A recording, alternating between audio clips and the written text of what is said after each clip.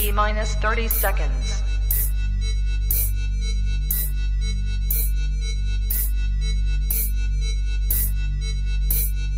T minus 20 seconds.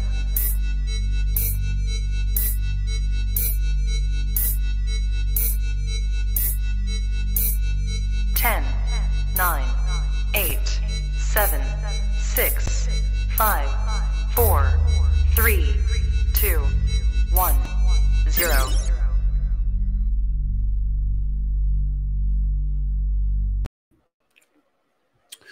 You are now tapped into the coolest reptile podcast in the world. Welcome to the Trap Talk Podcast presents Holy Gecko Session. I'm your boy MJ. What is good? If this is your first time tapping in, do your boy a favor, hit that subscribe button, smash that notification bell. That way you're on top of every single podcast I drop here on the Trap Talk Podcast YouTube channel. Shout out to my subscribers out there. Um, also, let me know in the comment section how you're liking each episode. What is it that you're learning the most? What is that you're enjoying the most out of each show? Really means a lot. Uh, yeah, man. Listen, even if you don't subscribe and you watch this, I appreciate you so much. Thank you so much for giving me the time of day. I'm excited for tonight's episode. Shout out to all the early birds. I see you guys right there. I'll get to you guys in just a second. But uh, if you're looking for exclusive content, if you want to get more than what you see here on a weekly basis, um, and if you just want to tap in with some amazing people, best thing you can do is go down to the link below and click on the very first link you see in the description. It's the Trap Talk Patreon family that you can fucking be a part of. It's amazing. Once you become a part of the Patreon family, you get a link to the Discord, which taps you in with over 150 trappers die-hard mofos in the reptile game. But seriously, man, the Discord, you get so much out of it. So many people giving information, so much to learn. If you're looking to buy snakes, if you're looking to sell snakes, or even geckos, man, any any reptile related shit. We even have a dog uh, page in, in, in the Discord, man. You could you could get it all with the Trap Talk Family Patreon. Uh, so become a Patreon member today. Cannot wait. I gotta say thank you to all my Patreon members. You guys are my heart. Uh, and then also, uh, you know, got to be ready for the next Sound Check Chronicle exclusive episode to drop. I got something that's going to drop pretty juicy here uh, in the next week or so. So, and that's only for my Patreon members. That's all I got to say. Uh, listen, before we get into things, I got to say tonight's episode is brought to you by Rami over at the Reptile Super Show, the biggest, coolest reptile show on the West Coast by far. Cannot wait to get to Pomona in January. Are you going to Pomona? Man, a lot of big historical moments happening this January at Pomona. I'm telling you, you don't want to miss this. Head over to reptilesupershow.com. Head over to Reptile Super Show on Instagram. Be ready. Get your tickets. It's going to be sick. Pomona 2023. And then also, I want to say shout out to Brian Potter and Bob Ashley over at NARBC, the Super Bowl of reptile shows. Shit man, I had the best time of my life at an NARBC, man. Met some of the best people. I think I met David at a nope, I take that back. I met David at Animal Con. Then I met him at NARBC. Anyways, we'll talk more about it. I gotta say right now, man, the shows will change your life because it connects a lot of dots. It's cool to have a big face on the internet, social media platforms, very huge part, which David's a huge part of the social media platforms, but the guy goes to shows, he goes to places like Animal Con. He really connects himself with the people. I think like, once you connect yourself with the people in person, it really changes everything. So thank you so much, Reptile Super Show. Thank you so much, NARBC.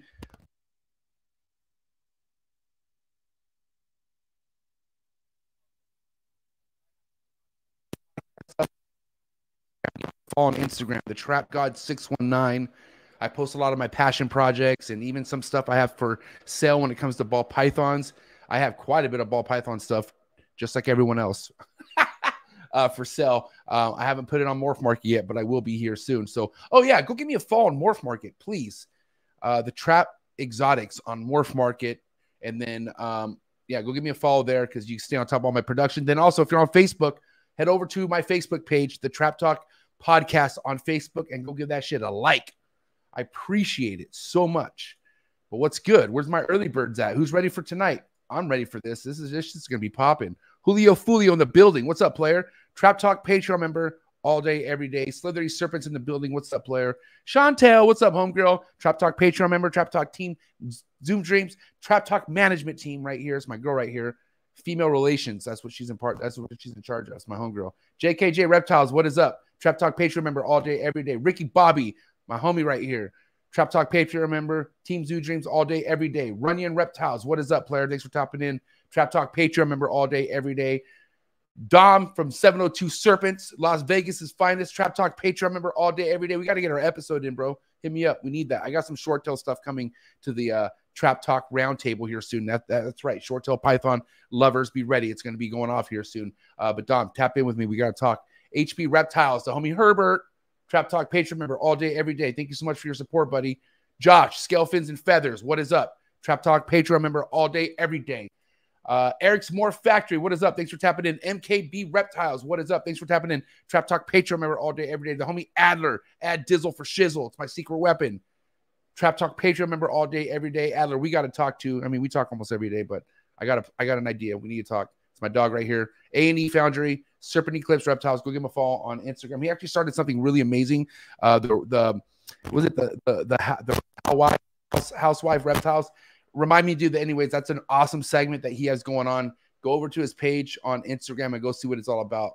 Reptile Wives. That's what it is. Reptile Wives, right? Anyways, I thought it was really good. Wise guy, what is up? Thanks for tapping in. Forget about it. Dylan, these nuts. Thanks for tapping in, buddy. Trap Talk Patreon member all day, every day. Don't be Big Mike Hurt collectors in the building. Thanks for tapping in, player. Appreciate you so much. Colin Schumark. What up, Colin Schumark? Thanks for tapping in. Uh, let's see. Ooh, big keys in the building. What's up, keys? Gotta love the homie Keys, man. That's my dog right there. Darren Owens in the building. What's up, Darren Owens? That sounds like a, an athlete or something like that for sure. Uh, Jamie Pico Pythons. What is up, player?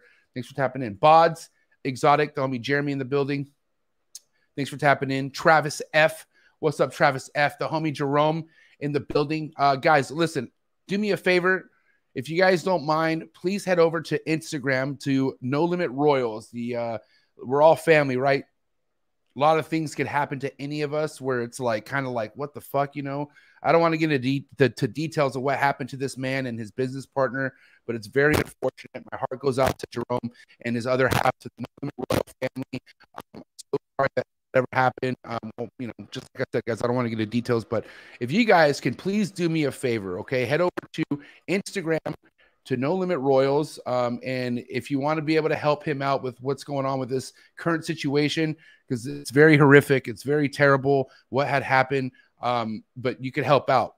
Go over to No Limit Royals, click on his story, and anything helps. You know, let's, uh, you know, shit, reptile family, we got to all stick together, right? So, Jerome, I'm so sorry for your uh, for what you're dealing with. I'm sorry for your loss, and uh, yeah, man, if you need anything, let me know. Um, Jerome, we all love Jerome, so for sure. All right, moving forward. Addicted to Cresties. Addicted to Cresties. Okay, that's a sick ass name. I'm not gonna lie, that's pretty hard. The homie Jonathan Wilcox Reptile Supply in the building. What is up? Uh, Elite Exotics BP, one of the newest Trap Talk Patreon members to join the family. Thanks for tapping in with us, buddy. 422 Pythons. What is up? Thanks for tapping in. Timothy Fryson. What is up, Timothy Fryson? Constrictor Connection, another new heavy hitter to come over to the Trap Talk Patreon family. Thanks for so much for joining. Uh, Peter. Hi, Peter. Thanks for coming in. And we're going to end it with Evolver Reptile. Sick. Thanks for tapping in. Guys, it's Sunday. That means one thing it's all dedicated to the gecko breeders. That's right. MJ is just waking up.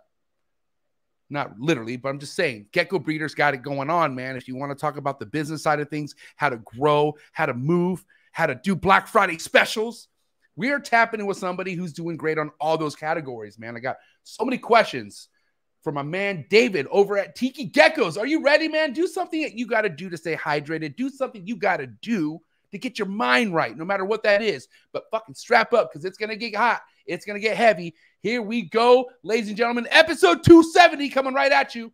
David of Tiki Geckos. Chee. Good.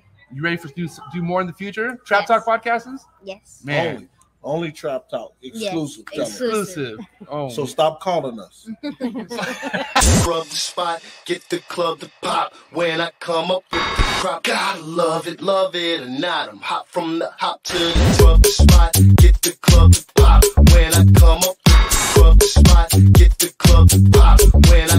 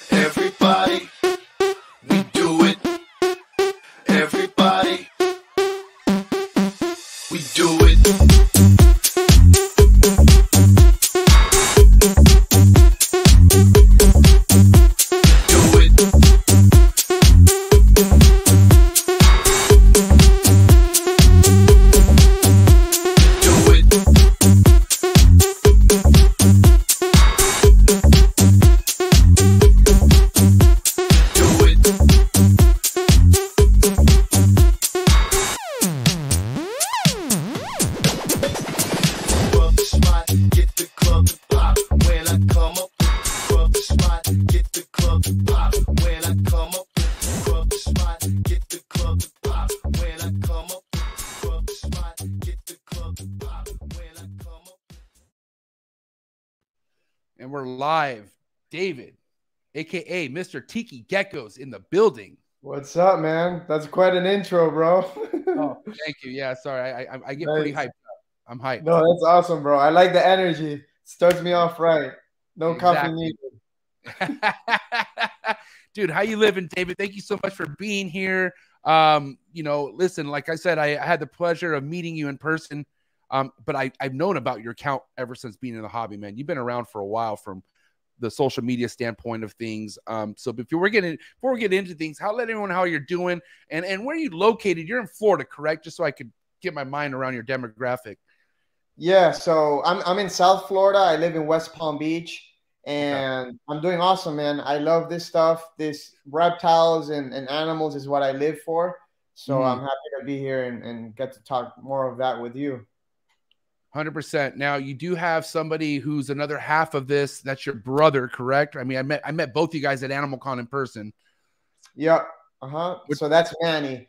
He's not my blood brother, but I he's he's like he's like a brother to me. We've been best Right. friends since like high school, and he's helped me out ever since. So we're we're like this.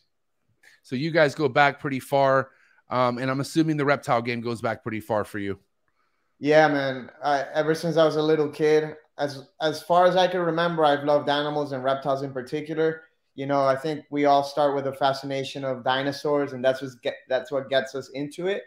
Right. But uh, yeah, as far as I can remember, always loved reptiles.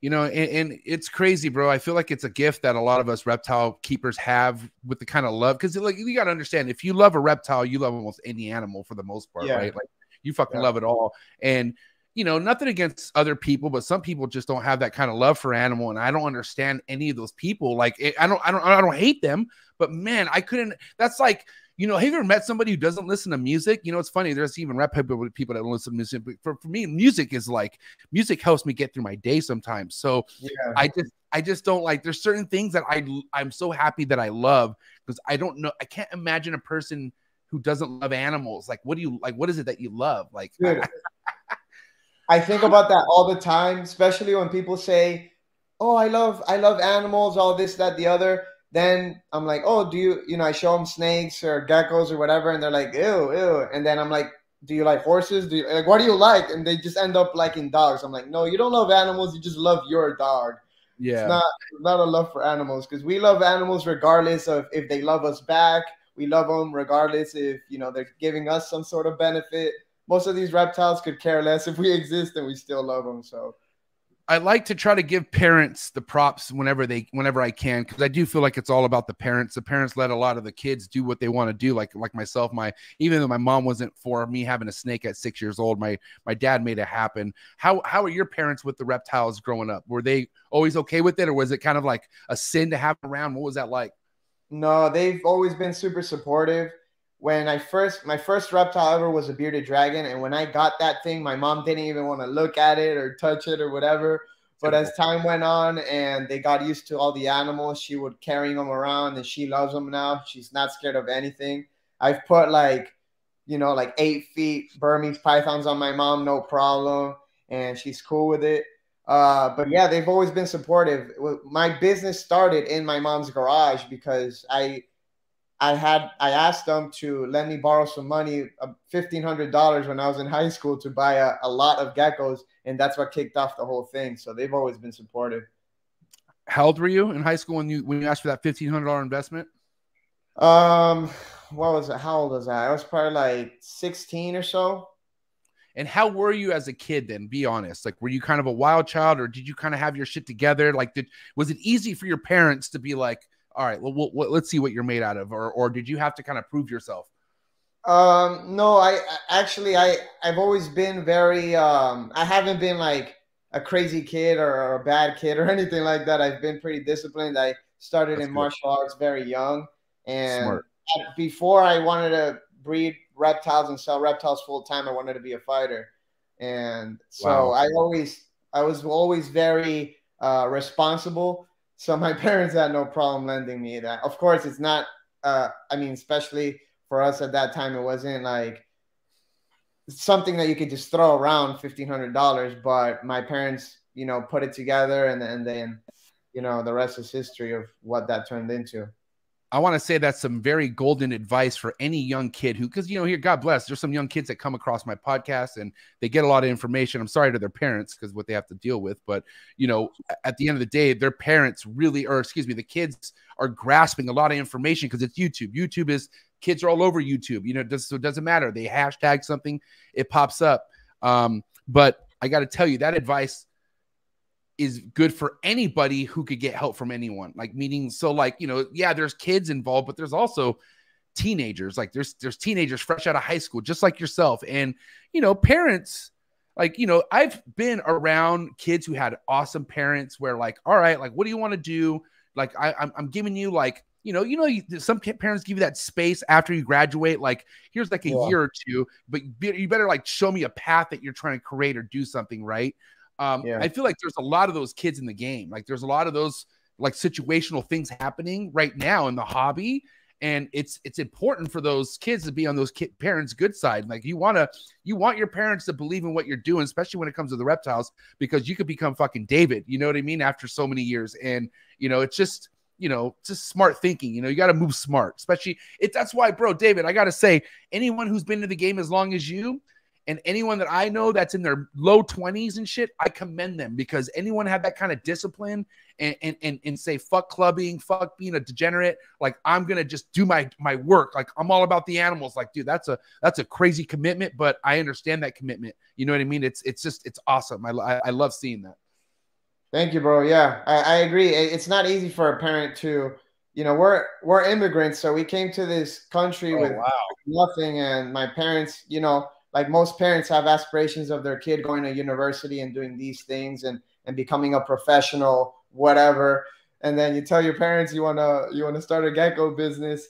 They um it's not that wasn't their first go-to thing but they supported me the whole way. And right. you know even though it might have not been like their first choice of of profession that they would have for me it, it, worked out because they yeah. i've always had their support.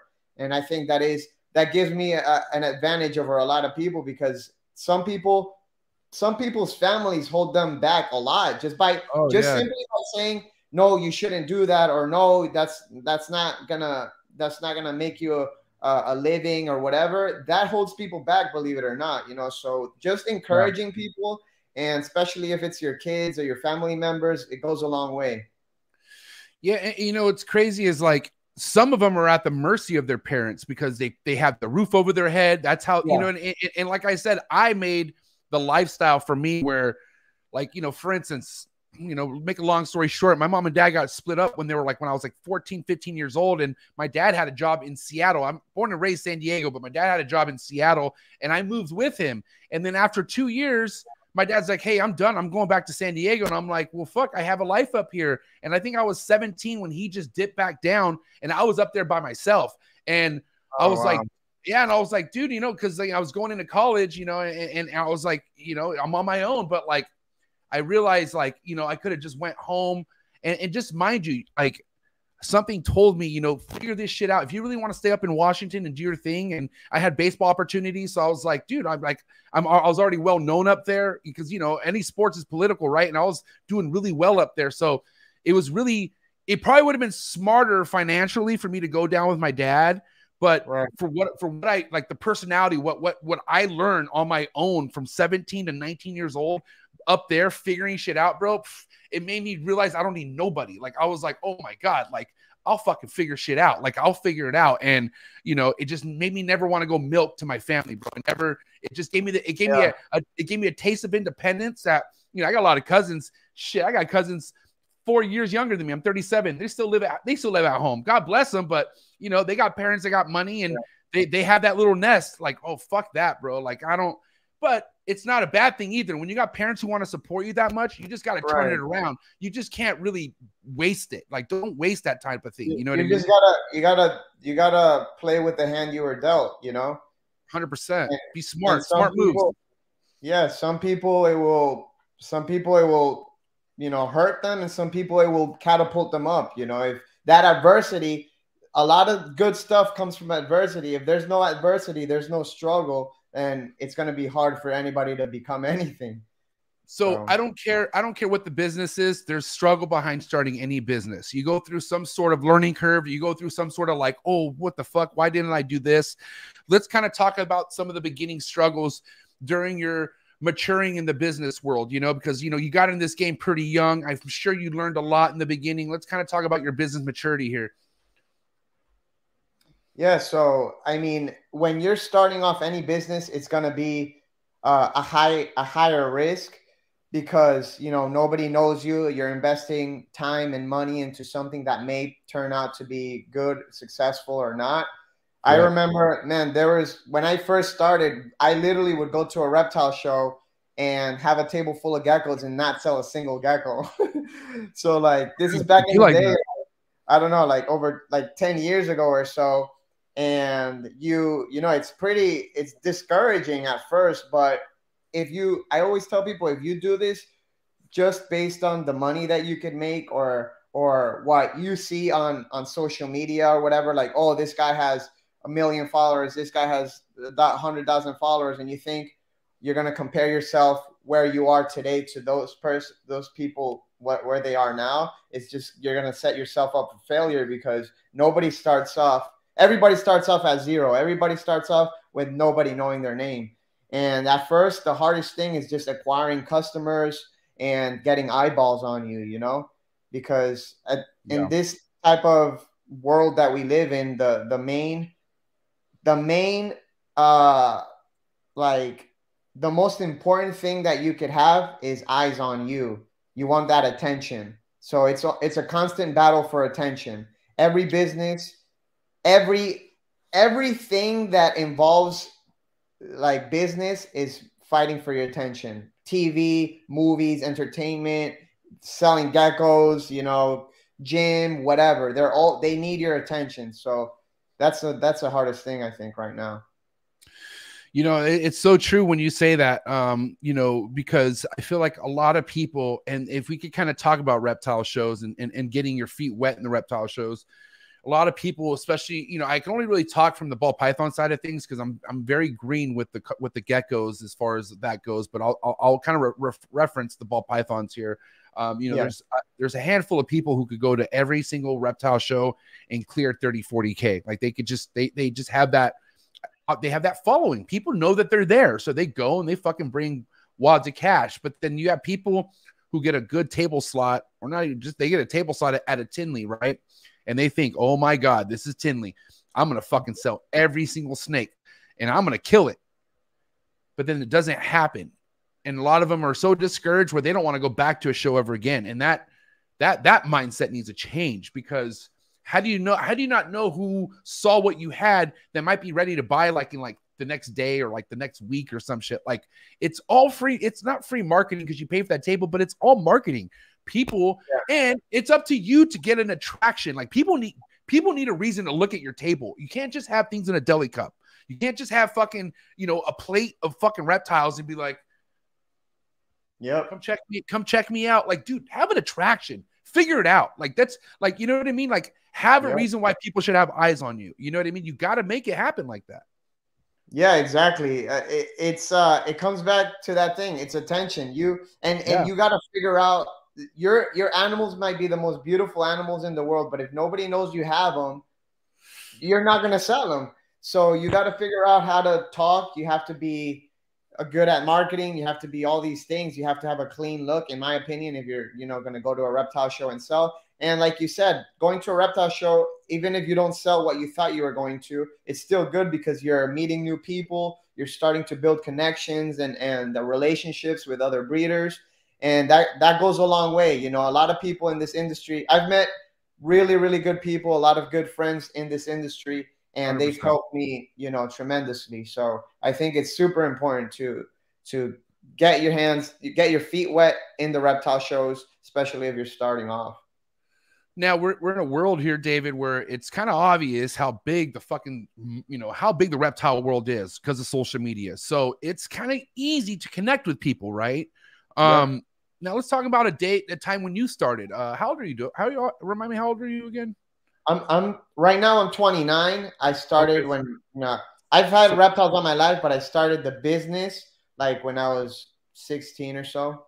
So about seven years ago or eight years, eight years ago. Okay. So that that's still that's still well before what is happening now with the social media buzz. Okay. So I'm Or, yeah, curious. more- more- it's it's been over 10 years.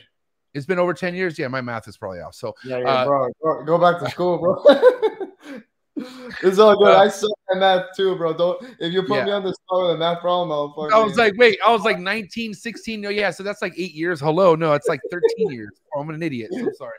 Uh, so okay, so yeah, well before the buzz that is happening currently in the social media. So when did it click to you that you should start making good relationship moves with other people in the hobby? Like when when did that like kind of seep seep into your head? Well, as, as you start, when when I was a, I'm pretty introverted. I consider myself introverted. So like when I started, especially as a young kid, vending reptile shows, I wasn't like out here making connections and talking to everybody.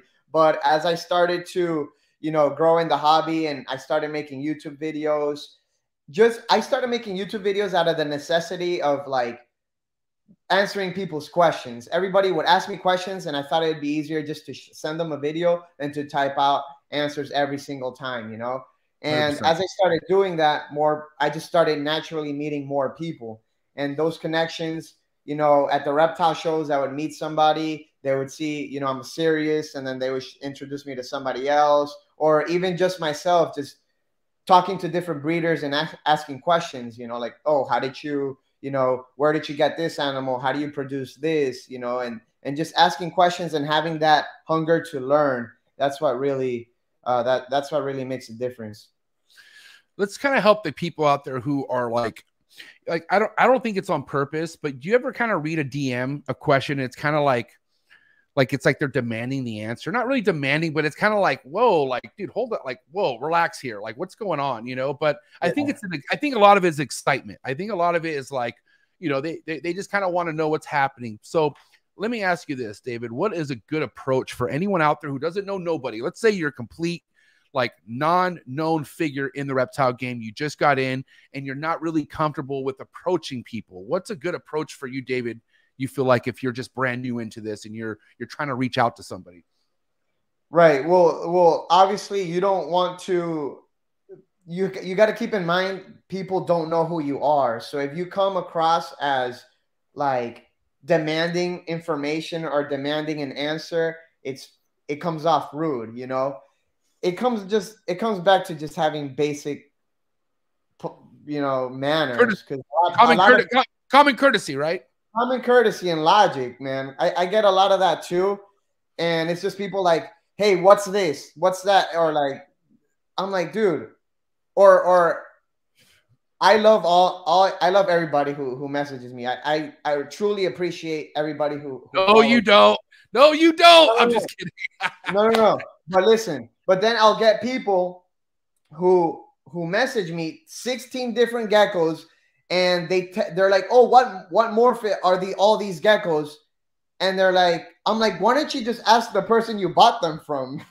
like, why why are you asking me? But ask the person you gave the money to, and he's Yeah. he should be able to tell you all the different morphs and all the questions. Like, I'm not gonna be able to, or if if their animals, there's something wrong with your animal. Oh, I just got this animal. What's wrong with it? You should be asking the person you bought that animal from.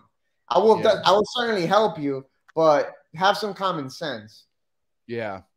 You know, eh, with that being said, I mean, if we could kind of talk about what you work with, and this is one thing about the ball python game, which I'm happy for. I feel like if you can't keep a ball python alive, if there's if there's a gap missing, I feel like you shouldn't work with pets at all. Like that's a pretty like a straight that's a straightforward pet to keep as a ball python. Like it's really Yeah. hard to fuck that up. And some Yeah. people do unfortunately. It's sad, right? And and and, and, and, it's not really some people just don't have that eye, I guess. But you know, for the most part, geckos same thing, pretty easy to keep. It's not a hard animal to keep if you just listen to instructions, everything's dialed in. Can we kind of talk about that? Like geckos are pretty easy for the most part.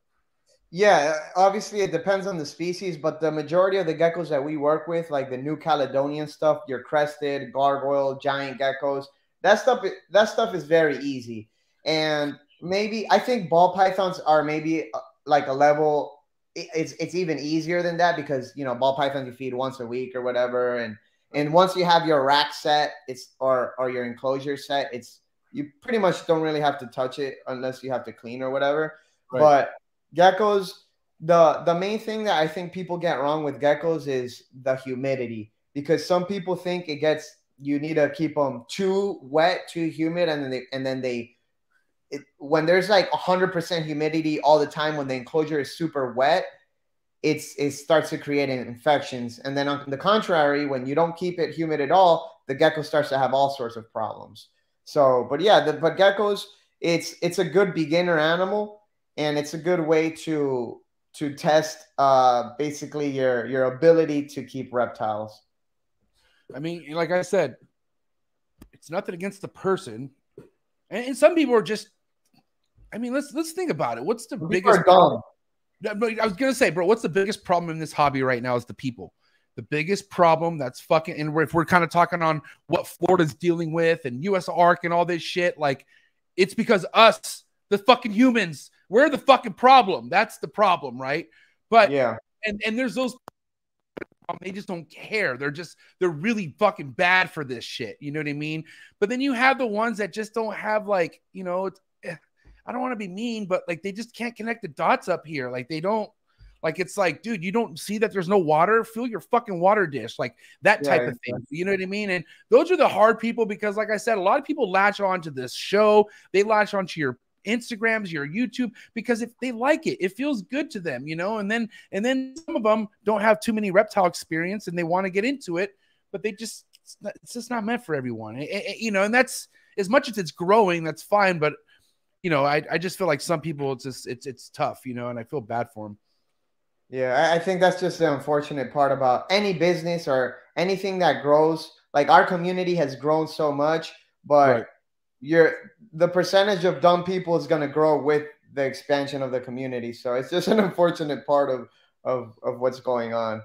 But hey, what, if that's what you know, you got to take the good with the bad. So I mean, it's like it's like any business out there has good customers and bad customers. It's, you can't Yeah. do nothing about it. It's just you know all, all we could do is create awareness which which is why like i'm very thankful for my podcast uh because it, it does i bring a lot of people on like yourself people i believe are doing the best in the game and they give out their examples and you know and not everyone's perfect either david you have a lot of people who come on this show and talk about things that they shouldn't do and they should never do and and it's just like like looking out for each other like you know passing down the passing down the knowledge i feel like is but the right piece of information which which I want to bridge to Animal Con, man. Let's let's talk about Animal Con real quick.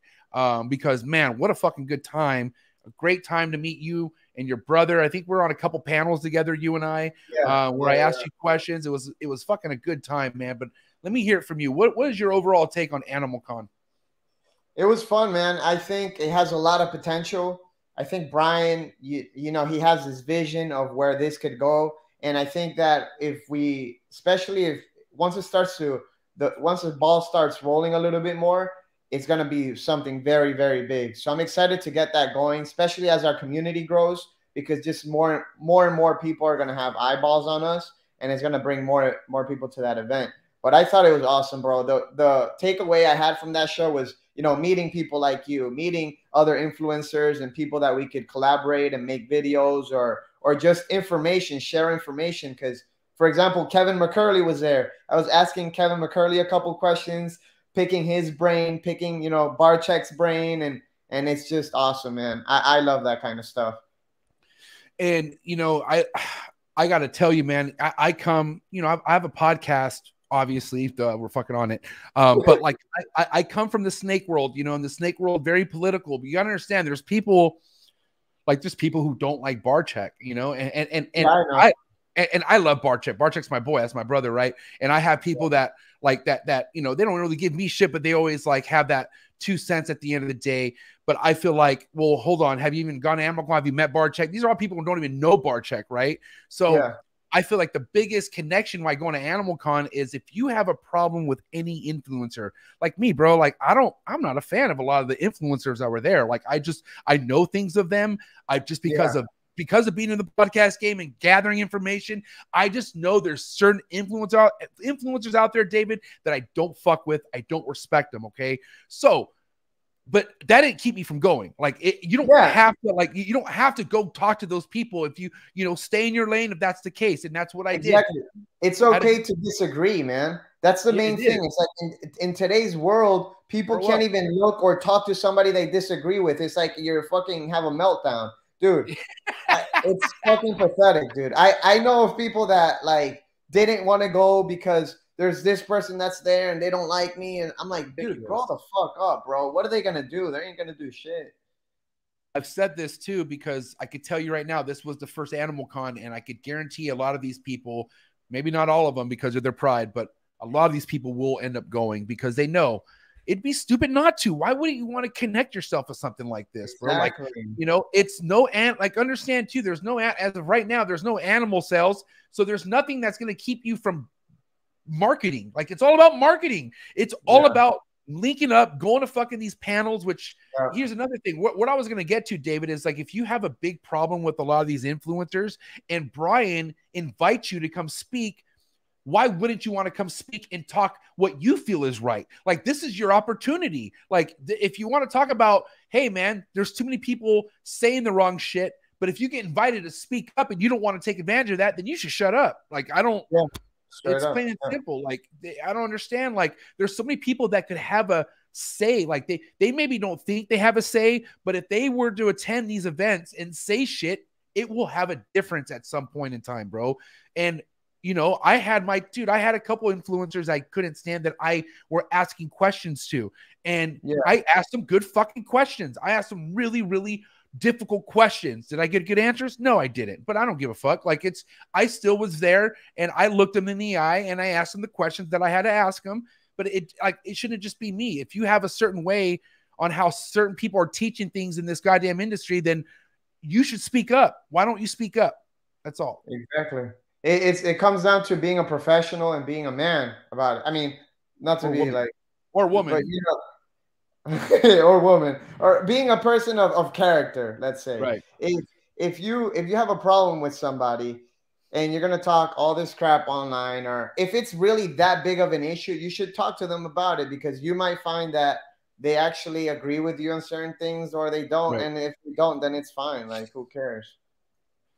But you know, misery loves company, man, and some people just like being miserable. So there's just some people out there who choose misery. You know what I mean? And me, like, this is why I, I, I, I don't mean to be so confrontational, but I don't like stuff eating me away. Like, I don't like stuff that's in my head that's like making me think. So if I need to speak to somebody on something, especially if it's somebody I'm close to, like, god damn, like I don't let any of that shit like go away. Like, I we got to talk about it. There's a problem because that kind of shit that eats away at you and you don't speak up becomes a problem later on. There's resentment that happens, and and and it's just it's just not a life to live. It's not healthy to be like that. It's really not. Yeah. Yeah, yeah, yeah, for sure. Yeah.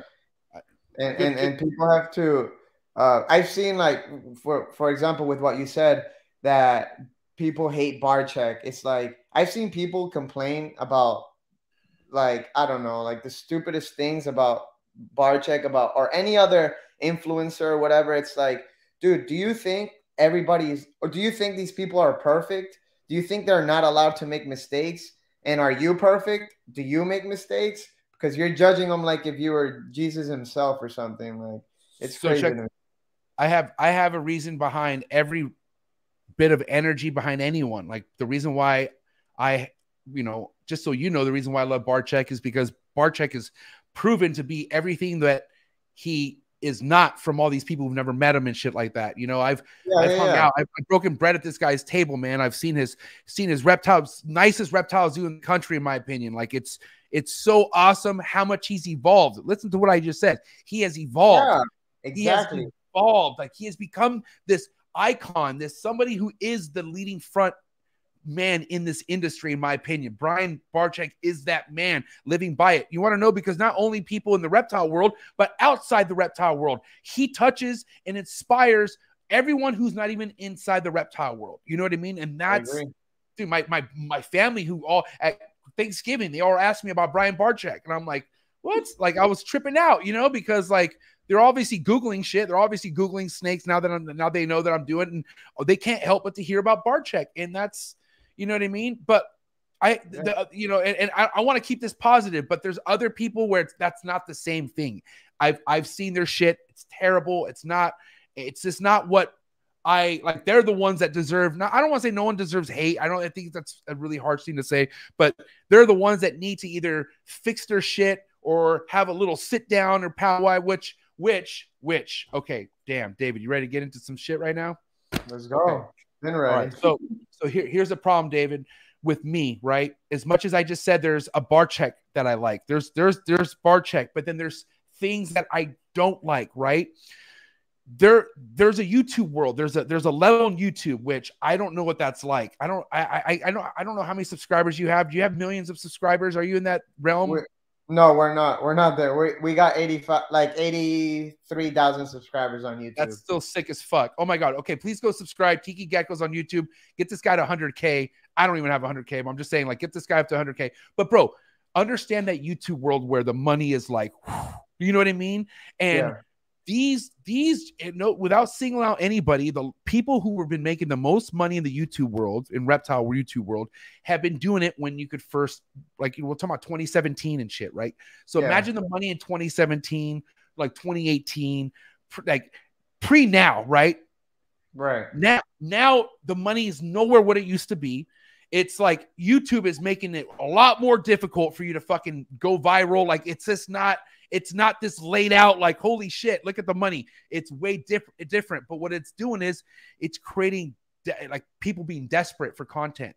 You know what I Yeah. mean? And, and that's the kind of shit I see. But at some point in time, it's like you, it's like you having your brother, um, or you know, I'm sorry, not your, but like your brother, but Manny, right? It's like Manny having it's Manny, right? Did I say his name right? Manny. Just want to make sure. Yeah, Manny. Yeah. Man. So Manny, it's like Manny having his own collection at his house. You go over to his house and you're like, bro, there's fucking dead animals in this rack. Like, what's going on?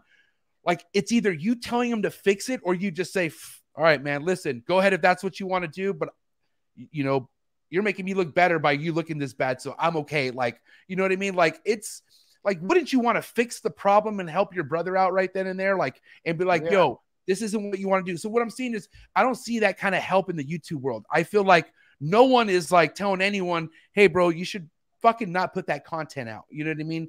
Um, there are maybe a, I don't know. I guess the only person I ever saw out there that was exposing shit like that was Donnie from Nerd. Like Donnie was putting it create together this content, but like I'm just saying, like, wh- wh- when do we come to a place where someone needs to talk to somebody because how much an effect it has all around? Like, like, like how bad some of this content isn't good for the non-reptile keeper to see. This is like, and I'm talking about the big issue with USARK and a lot of the problems that are happening in I'm, this day and age. I'm following you, man. I'm following right. you.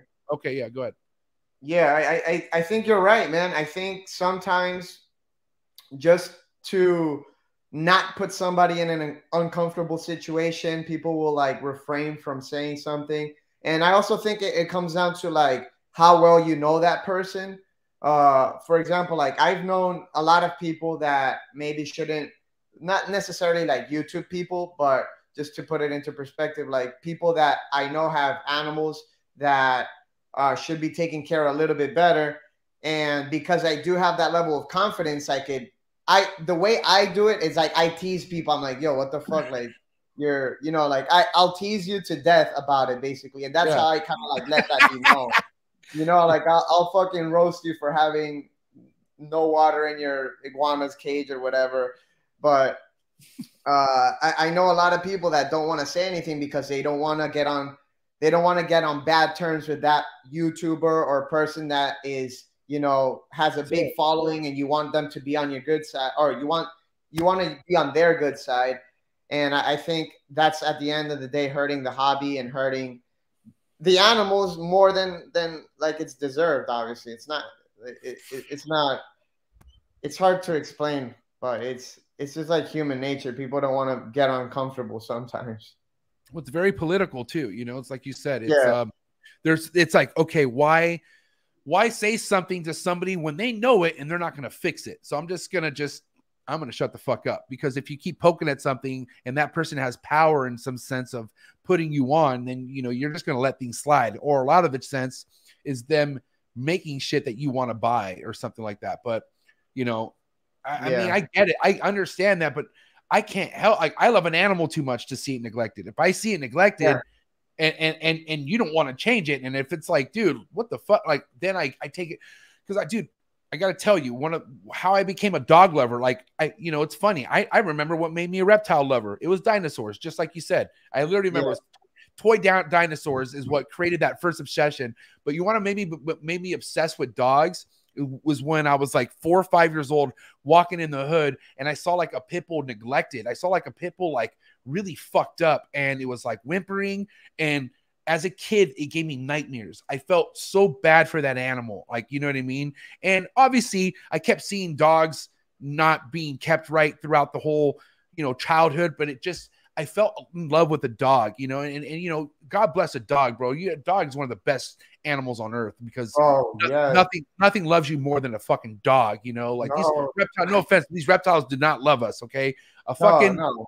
a dog loves us, you know what I mean? So, and I knew that. So, but that I'm luckily that instilled in my heart at that age, you know what I mean? But that that neglect shit just never worked with me even with reptiles, man. It just like it's they're not choosing to be in this fucking box. You're not choose like you know they're not like even a dog too. A lot of dog- dogs aren't you know hello. I didn't ask to be here, but you know it's an animal. It's like it's like a God's gift for sure, in my opinion. I'm not trying to get holy, but I'm just saying like it's just like a gift for us to like therapeutically enjoy and like like you know like this room, bro. I could come in here so stressed out, and after a few minutes, I'm just like all right i figure shit out like i write things down in this room like everything just calms me down bro and like that's that's a gift you would have to say right for a human Yeah, yeah. I dude, honestly, a lot of us, who knows where would we what would we be doing if it wasn't for animals? So I Yeah. You know, I love I love all animals, like you were saying. I, I tell my girlfriend all the time, like, yo, I didn't know what true love was until I met uh, until I got my dog. Cause I, I just my first dog, I got it like uh two two and a half years ago. My very first dog ever, and I just love she's right here. And I love her to death, man. it's something So- different bro it's it's a i mean god It's bless crazy. dogs bro i mean i'm, I'm 37 God loves dogs. i God have backward dog. for real. Yeah no that's no shit huh? God equals dog. Come on that's probably a piece of god i'm telling you. That's why you should i don't understand. I, there's a special place for any animal abuser especially a dog abuser after No, this life. And, and i got dude man they're god bless their soul man. But um all right listen i want to get back on the business talk of things because black friday um you know you were, we're just coming off of black friday which your specials are going all weekend or let's kind of talk about your black friday specials and how that's been keeping up with sales and and you know basically what your black friday is all about and whatnot yeah, so our Black i Friday can hear you was keep talking i can hear you keep talking okay, okay. So our Black Friday was basically it was like a week long event for our email subscribers. We had discount codes that kept increasing leading up to Black Friday, and our big Black Friday day it was basically just 50% off crested and gargoyle geckos, 20% off everything else. And that was our, you know, that's our biggest sell of the year. So for like we typically don't do Cyber Monday stuff. The the event ends on Friday at 11:59 p.m. But you know, we we were able to sell we sold almost everything. So, you know, it's it's always been um very very we, do a lot of work and a lot of promo for Black Friday, so it's been a good uh it's been a good year for that for sure. But um yeah, dude, eh, Black Friday is I think this like in, in the United States is the biggest holiday and the biggest opportunity for a business because people are just in uh in this frenzy of like they just want to get deals and buy everything. So if you give the people what they want, you know, you're gonna you're gonna be able to make some good money. But um obviously this year has been a little bit slower because of you know the how the economy has been, but it's it's it was still a very good year for us. Yeah, I'm glad you brought that up, man, because I'm curious how this Black Friday has been compared to other Black Fridays. Like, is this something that you're like, this is like nothing you're brand new at? This Black Friday thing that you roll out is something you've been doing for a few years now, or, or how's that been?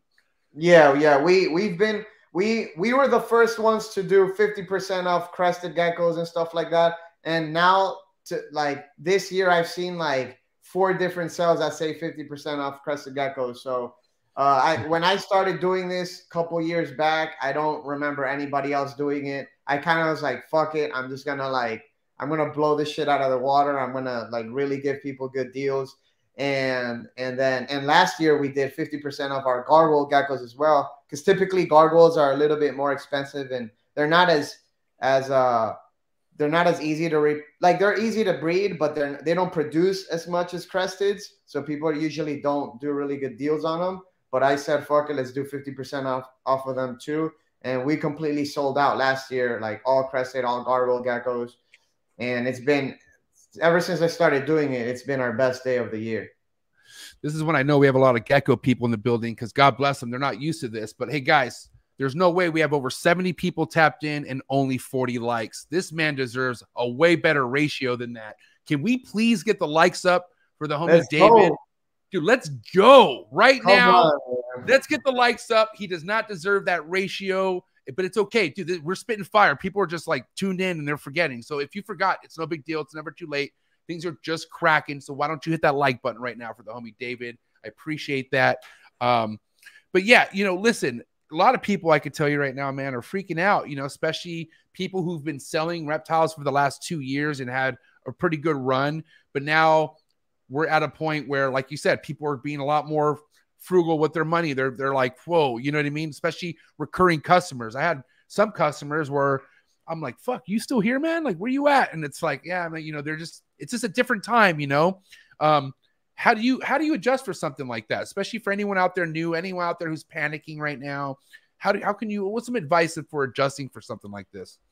So I would say that you really have to be careful how much money you're investing in certain projects. Now, there's always going to be a good time to invest in certain animals or morphs, and there's always going to be a bad time. Typically, what I find is that when you have to understand genetics a little bit, for example, like an incomplete dominant mutation is going to be easier to reproduce. You can reproduce it in one generation, so a bunch of people are going to be able to make it if that particular animal that is happens to be an incomplete dominant is super expensive right now, I would stay away from it just because it's you're probably not going to get the same return that you're hoping for unless you're like one of the very first people who start breeding that. But um cuz I see a lot of a, a lot of animals that are going for crazy amounts of money right now because the the market has been with the geckos, the market has been inflated by all the customers out overseas in Asia and stuff. So these Right. guys are paying top money for a lot of our geckos here, and it's causing us here in, in the United States to increase that price. Because if our US customers want to compete with our Asian customers, they're gonna have to pay what they're paying. You know, I much rather sell it to somebody here because it's just easier to ship it to them and everything. There's no export, whatever. But if they're paying me twice as much, I'm going to sell it to them over there. So, but but going back to what what the question was, Hey, can, can you want to? Can, can we just you know just for your own sake of anyone trying to blow you up? He meant his customers in Asia, not his Asian customers. You know, you got hella Asian customers in America, bro. They're gonna be coming Yeah. after you. They're gonna be like, yo, yo. Sorry, I had to correct.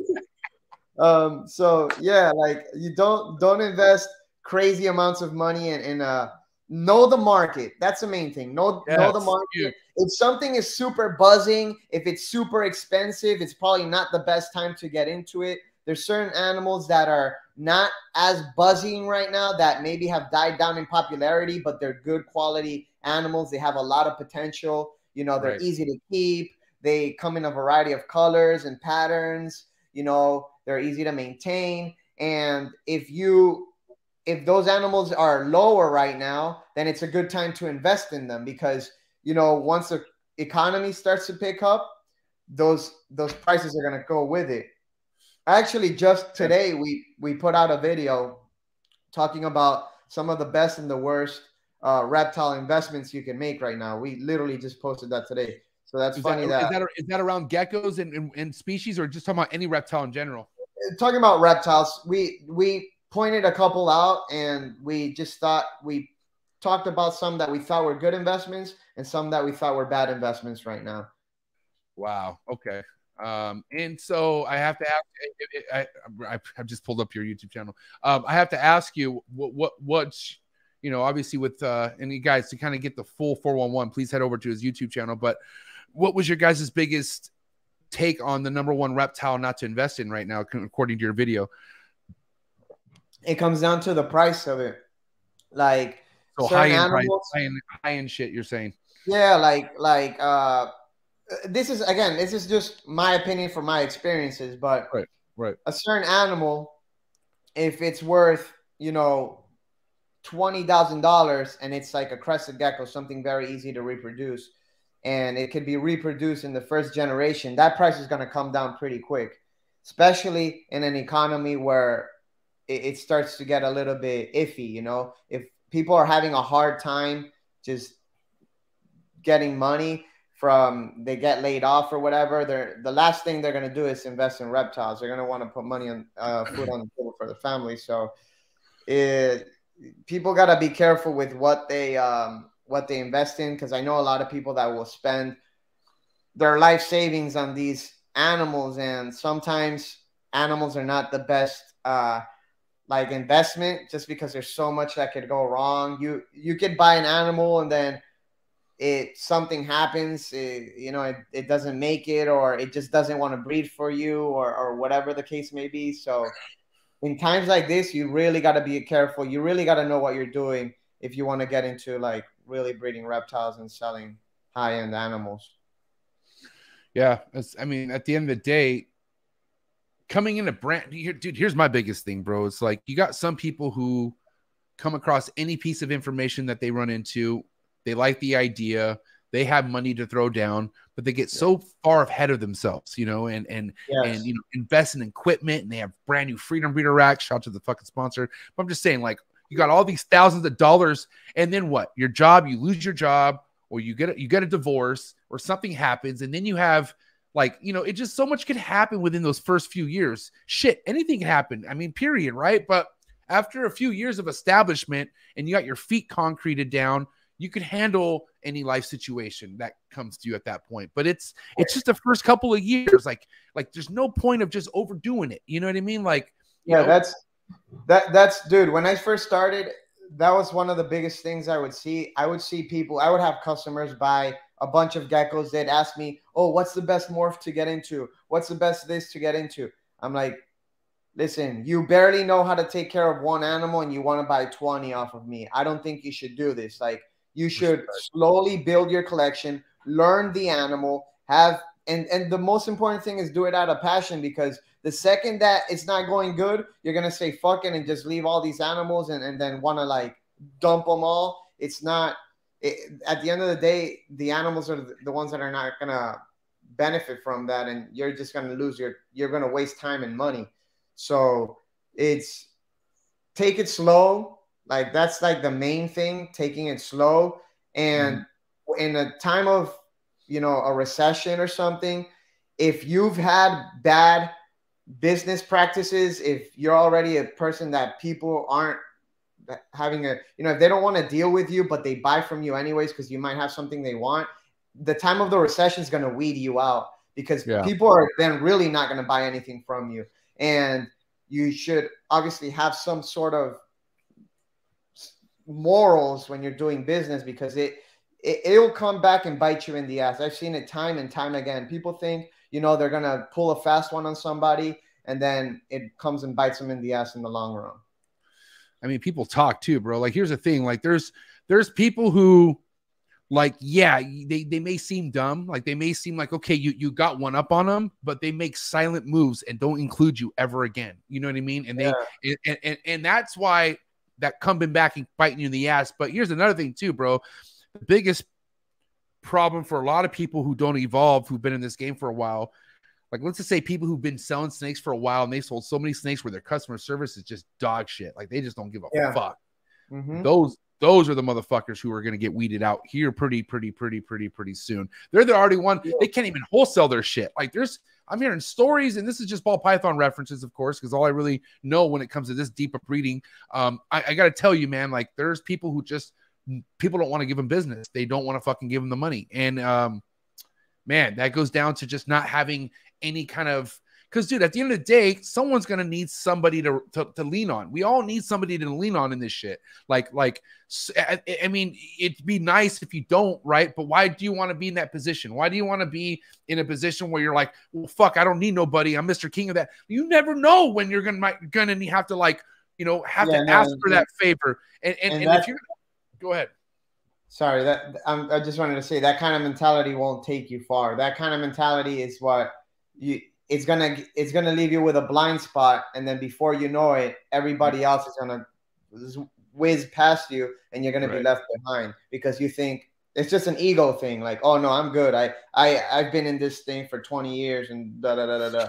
No, you got to keep evolving with the times because the next generation don't know who the fuck you are, and the next generation they they really don't care. So unless you like make it known and you're out there and, and constantly helping people and not just relying on your name, you know, you're you're gonna you're gonna get smoked. I'm very blessed for my homies in this, bro. Like my most closest friends in this game are so realistic with me, and and I'm some I'm very prideful, bro. Like I like I I'm like I have to check myself because like first and foremost the animals. It's about the animals, right? So like I, I don't want to be cocky about the shit that I have because I feel like I do have rare shit. But I have homies who just make me feel like you should just be blessed with what you have because that shit could be gone tomorrow. And this is coming from people where it's happened to them, you know, like one of literally one of my best friends who's one of the youngest guys but most experienced guy in the game andrew Acevedo. i'll talk about andrew all the time.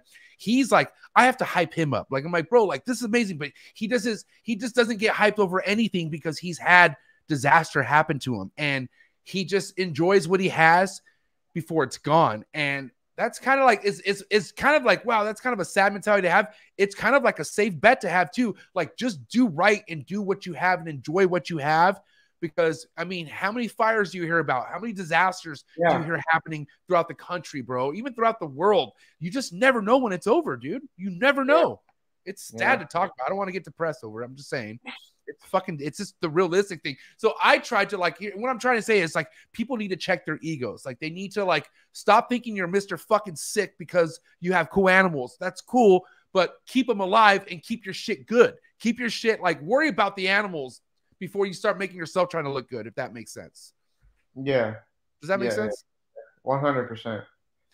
Now, you know, at the end of the day, man, people, man, I got people. It's so funny, man. Some of the highest big dogs in the breeding game, in the ball python game, have two different ways of looking at things. Like, you know, you have Justin from Canova Reptiles, who is just creating a bunch of fucking just like, you know, I want to say little mini versions of him, but not really. Just like people who are trying to make next shit level, like, like, I mean, next, next level shit with this stuff, right? Um, yeah, but you know, you also have some people who are like looking to retire. Like they're just like, dude, fuck my nine to five. I want to be able to do this full time. I see what Justin does. I want to be that. You know what I mean? I, I see Miguel. I, I see, you know, Aussie Boyds and, and like, you know, they see these people that are doing this full time, you know, but then you have other people who are like, that's not what to do. That's a triangle. That's a pyramid scheme. That's not fucking smart. All this other stuff.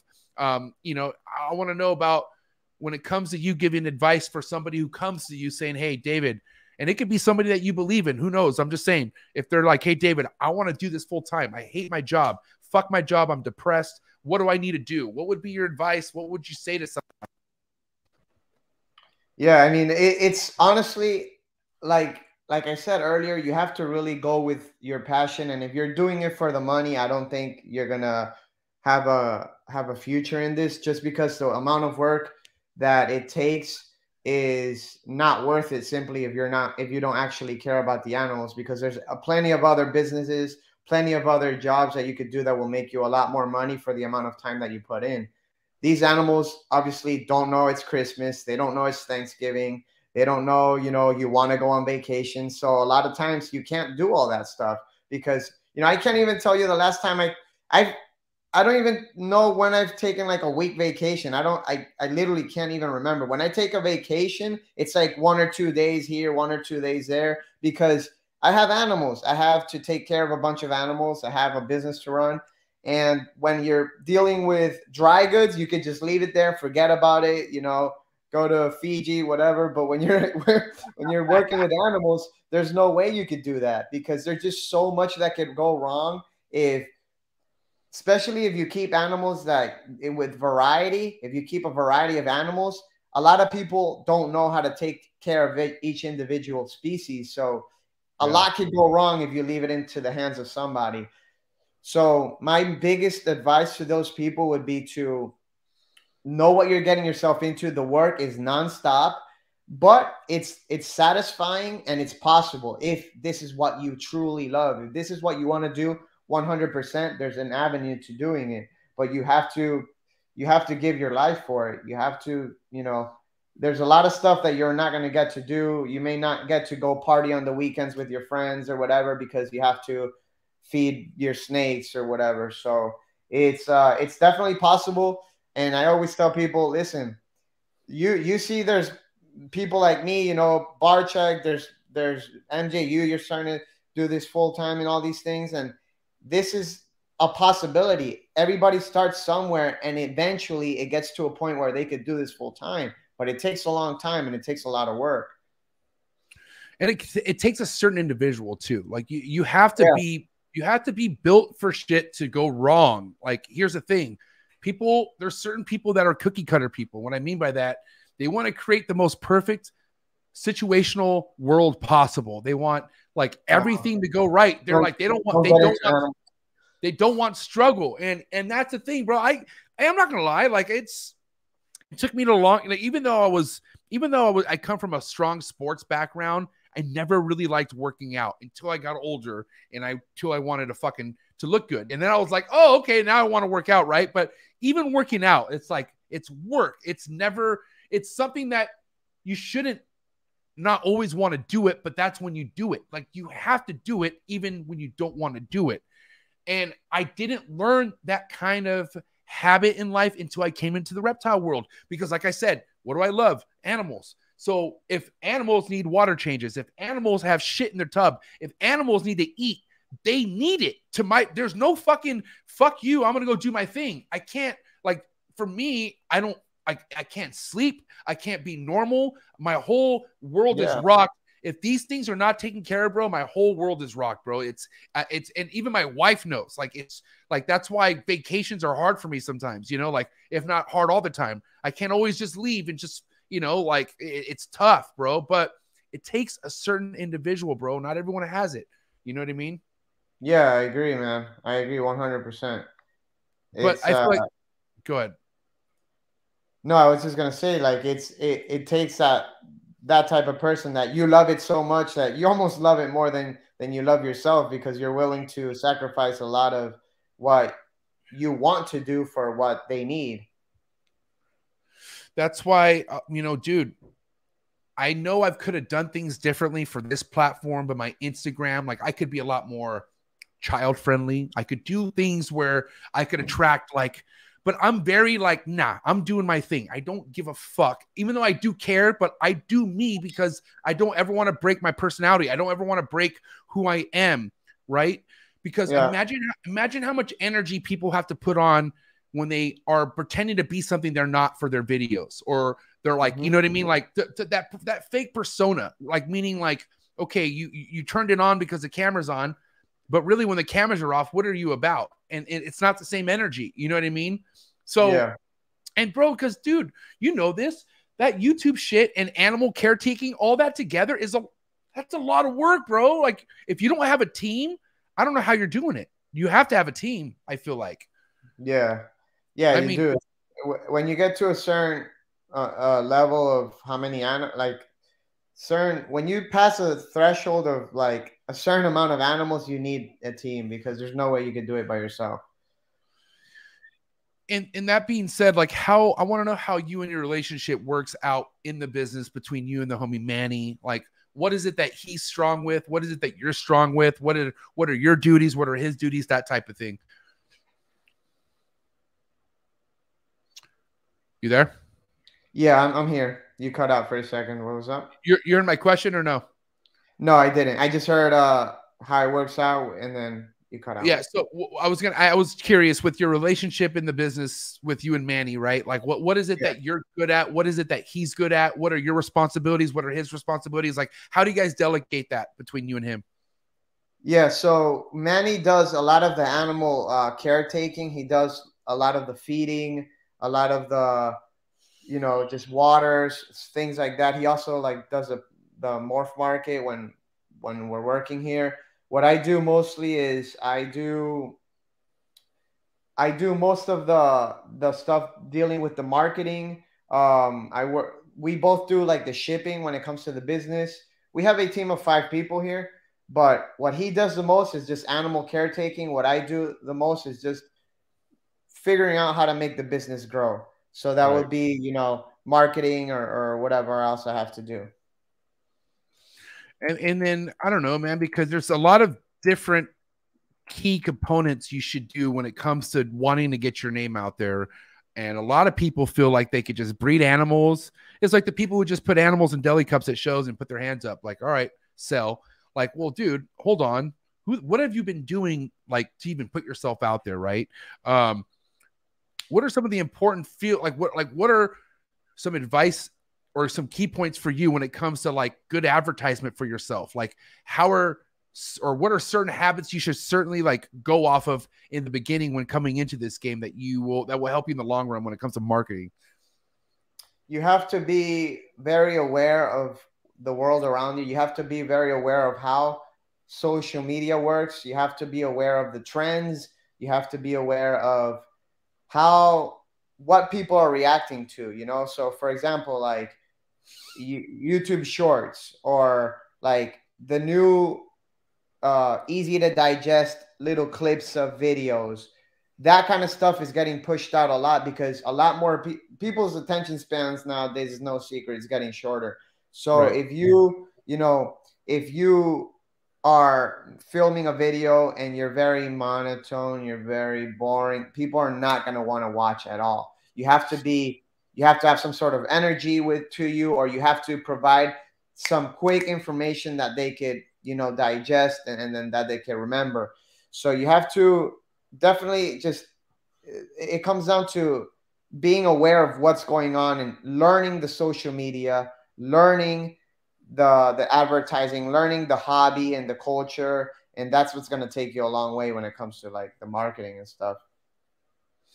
yeah i mean i don't know i feel like a lot of people don't take that in consideration because they do have a nine to five they do have a, a busy job where they can only do so much but if you're looking to part ways with that nine to five if you really want to have that be a possibility then you need to start treating this shit like a full-time job as much as you can and that Yeah. part of that that part of that it's the marketing taking pictures posting every day like people don't know how important it is to post every day if you're Yeah. Trying to get any kind of instagram following and you're not posting every day then you're fucking definitely you're definitely shooting yourself in the foot for sure Yeah, and and like I said, you gotta you gotta stay up to date with what's going on. Like for example, with Instagram nowadays, if you post a regular photo, it's not gonna do great for you. You need a what's Yeah. moving the most, what's getting the most eyeballs are the reels. So and then you know next year it might be something else. So you just gotta be aware of what's going on and and follow the trends and follow the the the way the social media platforms are taking the the platform. I mean, what are I mean, what are some of the things that you do to kind of make make yourself on top of maybe certain things to breed for the year? Like because I mean, first and foremost, how many different species of geckos do you work with altogether? Bro, that's a good question that I don't know the answer to.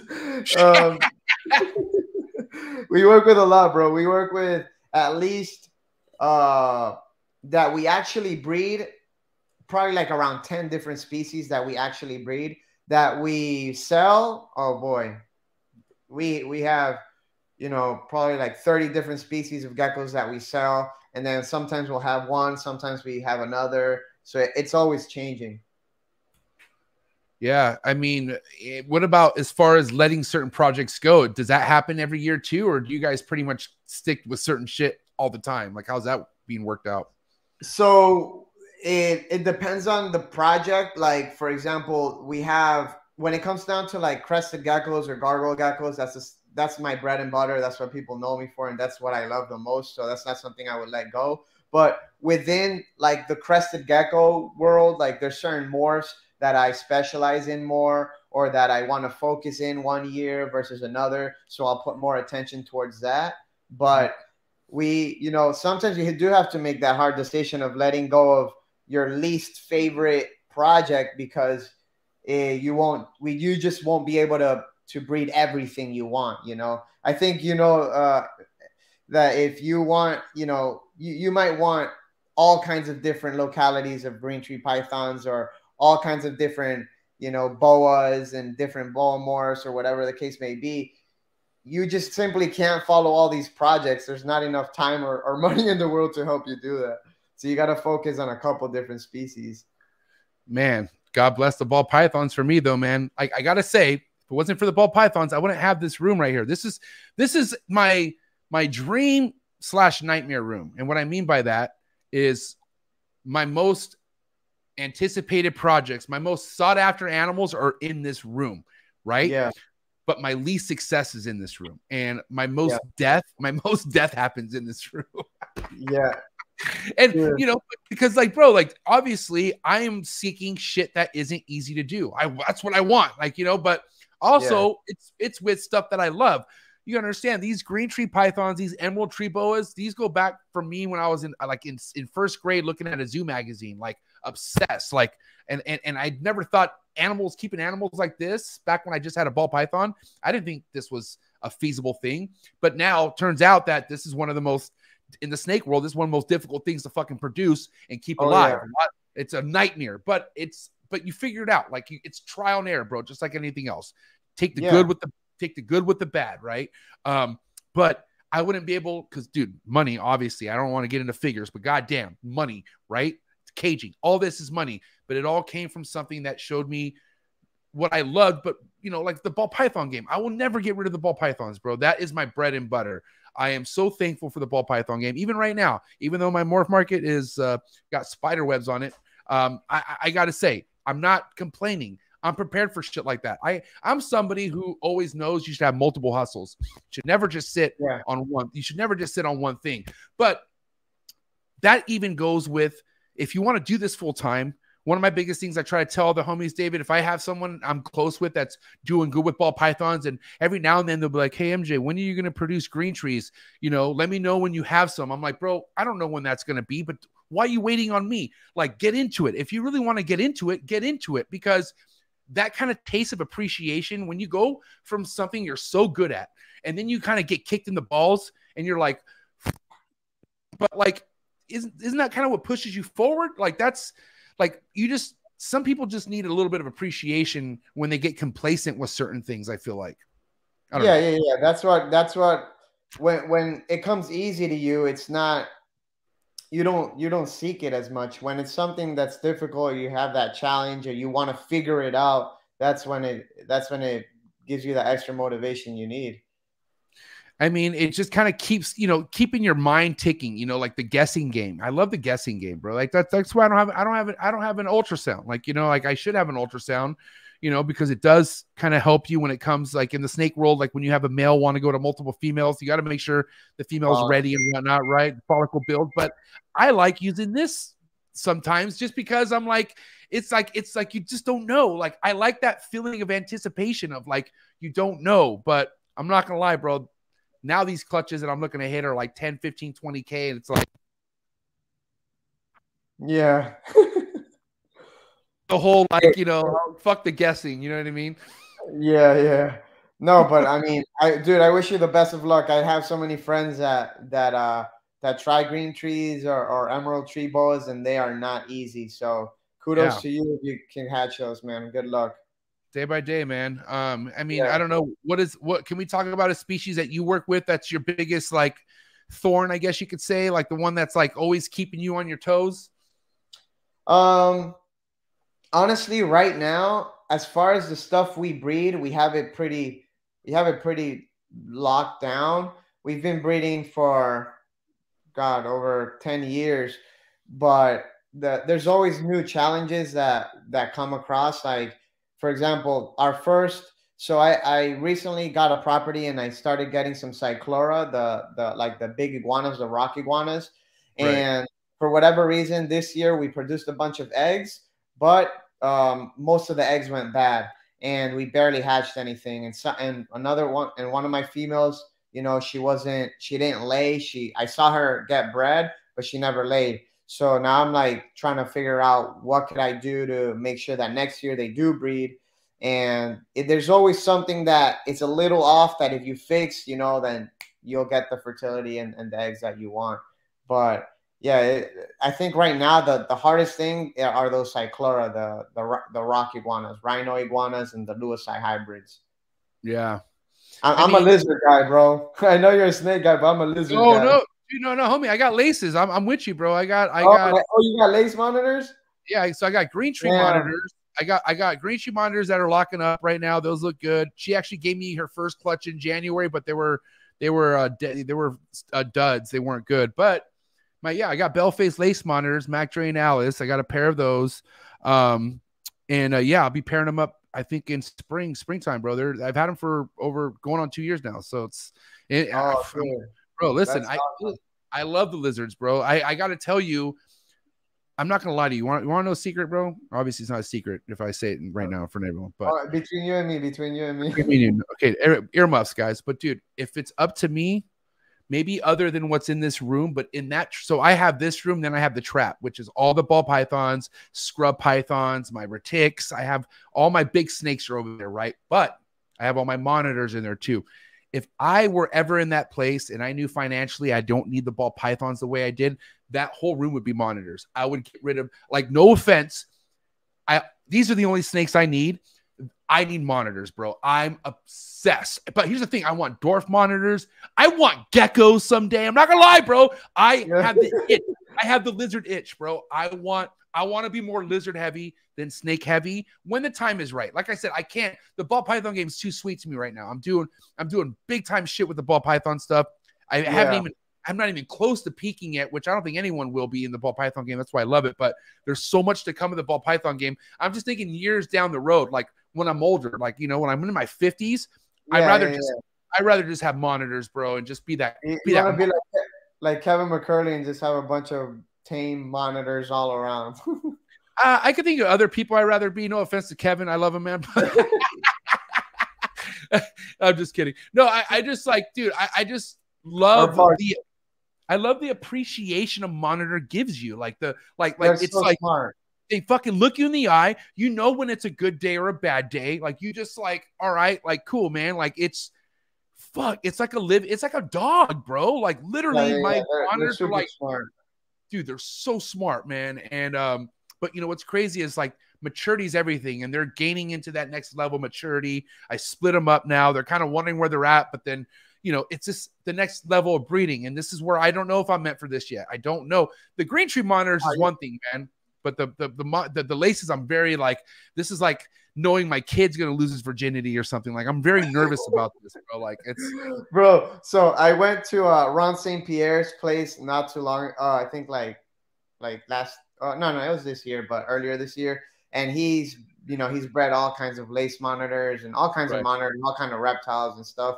He was telling us how he keeps his outside here in Florida. I don't. He Mhm. doesn't have them anymore, but he did. And it's hot as fuck here, bro. But Right. he would even put a hot, a heat box outside for them because they like it really, really fucking hot. And that's what everybody, every, monitor, every monitor person was telling me that you need to have them get super fucking hot for them to to do good out here or, or It- to breed to breed in general. Because, um, but yeah, but the, the lace monitors, bro. Do you do you got the the Kimberly? No, I don't. So here's, so here's yeah, the, yeah. So they, they came from Sim Container. My boy Alex and uh, John Yeah. over at Sim Container. They're uh, separate, different clutches, um, but both came from a bell to bells pairing, right? So they're technically they should carry, which a lot of monitor keepers don't like the term super bells, but basically the bells that are like pink and shit like that that come out pink looking. yeah. That's that's what I should be going with that. But I gotta tell you, man, eh, like I said, I love the bells. I, I love the bell phase. But my next my next move, like one of my biggest uh monitor keepers. I mean, I got a couple, but one of the guys out there that I respect the most um is Brian Waterloo. Do you know who Brian Waterloo is? I don't. Fuck, guys, gangster as fuck. But he has these black laces, bro. Like they're just pitch black and and not pitch black, but they have like these tiger stripes on them. Like it's Yeah. They are just so gnarly. That is my dream lace right now. I'm, I'm in the works of probably picking up a pair of those. Um, Yeah. and you know, I want I would love to make some supers or not supers, but some pink laces, and then you know go back and forth. But dude, I just it's just it's so much better than a snake. I don't know what to say, man. A, a lizard, a it just it's just it's fun. It's just more fun. It's more like it's like okay, imagine imagine a More dog that never paid. Imagine a dog that never played fetch with you, or a dog that just fucking Yeah.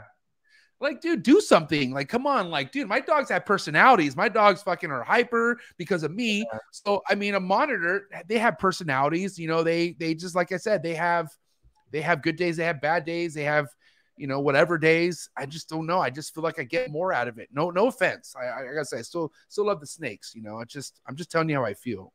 Yeah, no, I hear you, bro. I, I got I got two uh little Asian water monitors. Well, they're about like three feet right now, and they're fucking awesome, man. Like I just go in there and like just rub their chin or like they just like very curious. They look at me, they look in my eyes, and then they kind of like crawl out. They're very, very just a different kind of reptile for sure, on a different level. You're married, right, David? No, I'm not married. This is uh no, this is my grandfather's ring, but I got a, a pretty serious girlfriend. Okay, but marriage is is maybe in the future. Are you, are you somebody who believe in marriage, or you want to be with this girl forever? I do. Uh now marriage I'm not like particularly religious or anything, so Right. marriage would be more more for her and you know to make her happy and stuff. But um yeah, I'm not like it's not like it doesn't do anything from I funny enough, I was just at a wedding yesterday for one of my best friends and it was beautiful and we had Right. an awesome time. So what I like about that is just like bringing everybody together and just like the meaning behind it, but um it'd be mostly for her, yeah. So, I mean, oh, you gotta understand. At some point, you you know could be a possibility where you will be a married man and you will be getting into that. You know, I guess taking the plunge. I've done it. Yeah, I, I saw I know. but let me ask you this, man. What is what is uh? It could change the dynamic for some people out there. Like some people could be very like, I'm gonna do this shit right, and then they get married, and it's like, you know, they're not always on the same page. How much is your lady on the same page with you and the reptiles, and how much of that did you make clear before you even got serious with her? I'm curious. Oh, she's awesome, man. She's she actually she's the one who does all the customer service stuff. She like schedules Oh, the shipments and all of that. So she's super on board.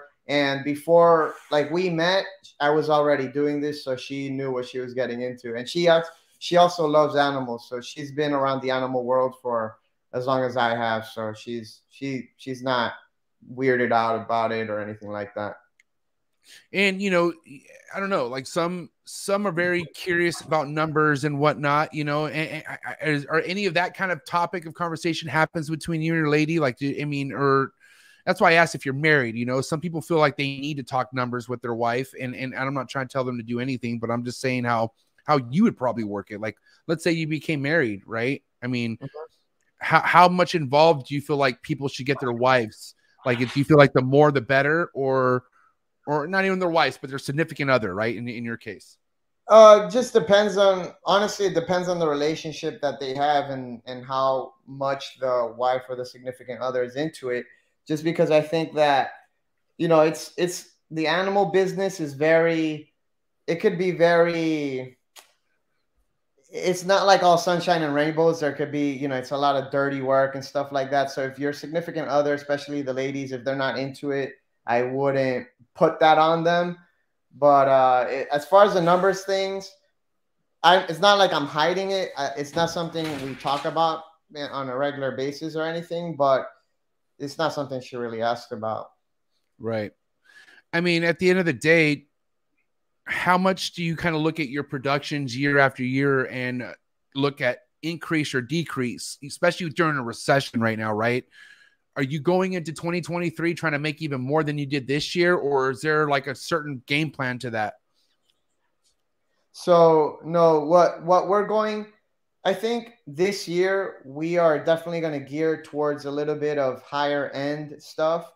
Now we always have had our high end projects and stuff, but we're going to let go of a lot more of the normal stuff and we're going to focus on more high end stuff because I think um, in a recession, I think when times get tough, the normal stuff, the stuff that people are just buying as a pet, is gonna it's not gonna sell as much. But the stuff that people are selling as investments or like future projects or the people who are balls deep into this into the the reptiles, they're gonna want to get it regardless, you know.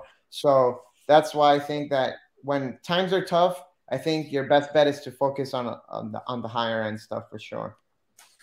How many like you know you were talking about your you know the Asian market the the Asia market right? And then there uh the people here in the US I mean how much like how many people are asking for bigger purchases? Is it more on the the the the Asia market or is it here in the United States? Like where are the bigger number of purchases coming from right now for you? Um, no, it's definitely coming from over there right now. It's going to be their their their market, their reptile market is just booming right now. So they're asking to buy hundreds and hundreds of geckos. And wow. yeah, I'm not wholesaling hundreds of geckos to anybody here in the US. It's it's all over there. So their stuff is wow. like a lot of people are getting into it right now over there. Holy shit. Yeah, it's it's it's crazy, bro. Like the and the number that if I could sell them more, they would buy more, but I just physically can't produce that much. Let me ask you this. Let's just say shit really were to hit the fan in the in the in this country. Do you feel like just right now what's happening in Asia is going to be able to keep tiki geckos alive if that if that were to like let's just say worst case? Um yeah, uh, honestly, I think so. I don't think we're at a point where if shit hits the fan here, that we have a really bad recession, we I still we still be okay. There's still gonna be obviously customers in the U.S. It's not like nobody's ever gonna buy ever again. So I think we'd be fine. Right. But but uh, definitely the Asians are helping a lot right now. My Asian friends. Shout out to the Asian homies. Um, well, listen, I got a wrap up question for you before we get into some hot seat questions. Okay, David. Um, and I'm curious the topic that I've had quite a bit, if not every gecko episode for the last four episodes, is the um, Brian from Altitude Exotics having that big blowout sell in Las Vegas. Um, I guess it was over 500k in gecko sales. Mm-hmm. How much? How much of that being a reality do you feel like that is, in your opinion? Do you ever feel like you could ever sell that much, or do you even feel like that's something that would happen again? just curious on how you feel about that. In a reptile show, that is insane. Um, I, I obviously heard about that as well, and kudos to him, man. He invested in a project at the right time when nobody. He was the first guy to bring axanthic uh, crested geckos to the market, really, to like put them out there. And right. he's he did it right. You know, he held back a lot of stuff. He produced a lot of stuff. He started making the combos, and the market just happened. the The market just happened to get a big inflation when he was at the right spot at the right time.